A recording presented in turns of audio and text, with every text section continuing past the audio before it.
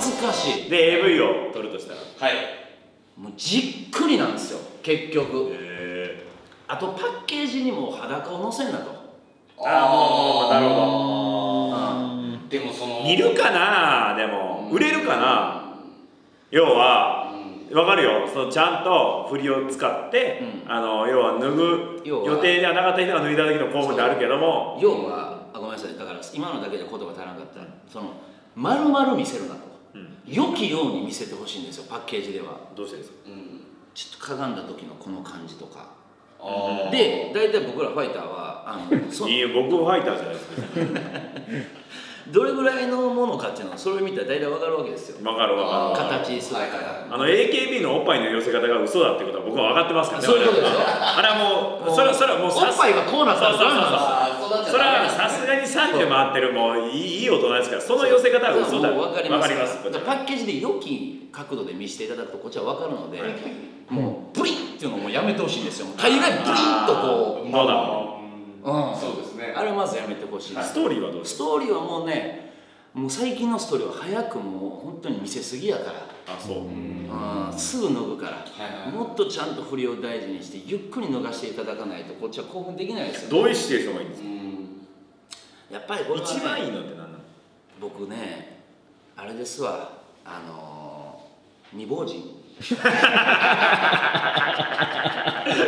典的な。やっぱりやっぱりエロい。やっぱりエロいわ未亡人。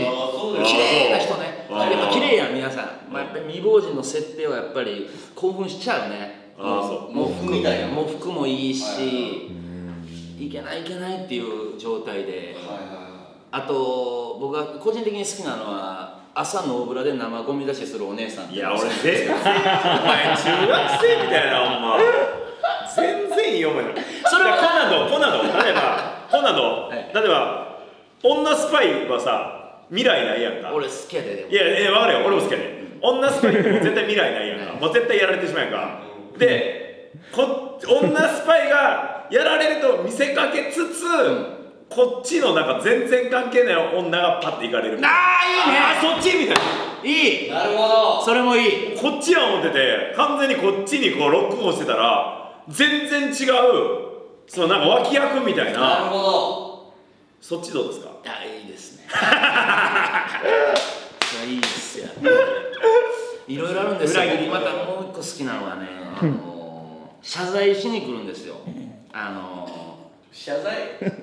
要は契約とかそういうのがあああれな。ちょっと手違いで「すいませんでした」みたいな謝罪で謝罪なんかええねん抱かせろみたいなくだりになんねんけどそれに対してむっちゃ嫌やねんその人が。え。嫌やなでもなせなあかんかーっていう状況でされてるやつ。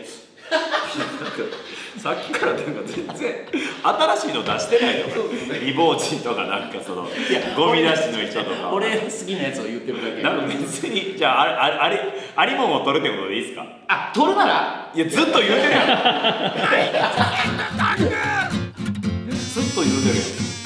自分が取るならそんな取りますかじゃあ 興奮しちゃって